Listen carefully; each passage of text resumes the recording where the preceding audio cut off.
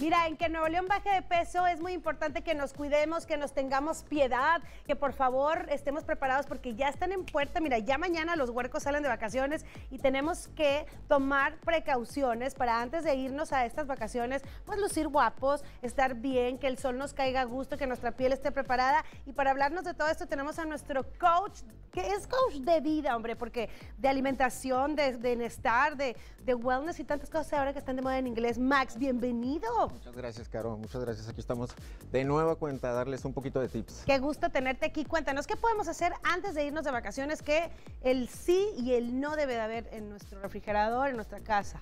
Claro, ahorita sí me gustaría recalcar un dato bien importante. Sí.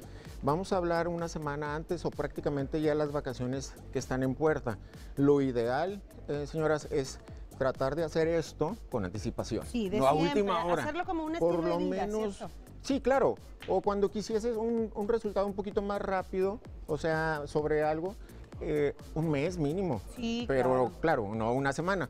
Pero bueno, sí se pueden hacer detallitos que nos van a ayudar, como son evitar las sales una semana antes, todo el Muy contenido de sodio, eso te va a deshinchar hasta dos kilos. Además, si vas a la playa, que viajas en avión y todo esto, es terrible eh, llegar bien salados porque, oye, llegas de este tamaño. Vas a traer tu vientre plano. Claro. El simple hecho.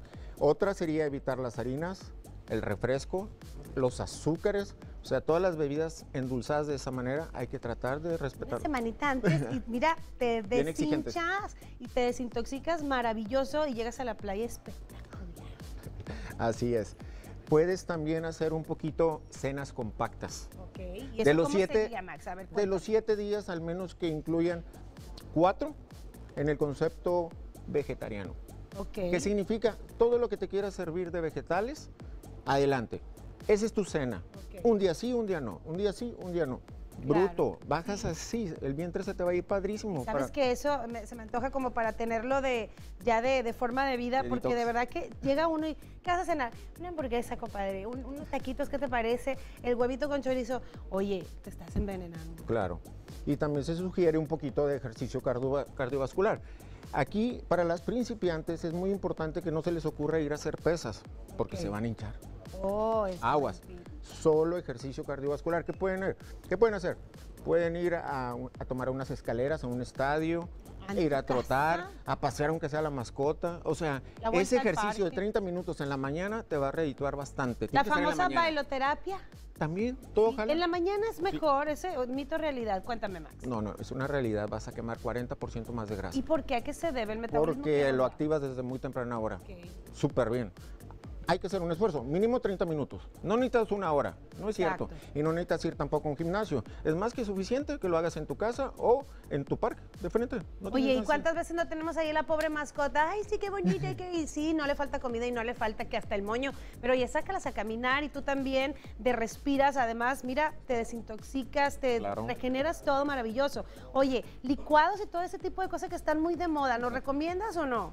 Sí lo recomiendo, pero siempre eh, respaldados con una buena alimentación en el resto de los platos. No puede ser posible que tengas Puro ese líquido tipo... todo el día. Ajá. Porque ahora hay muchos retos que están como muy de moda y que puro licuado todo el día y que no sé qué. Obviamente adelgazas porque pues te estás deshidratando literal, pero ¿qué tan bueno es?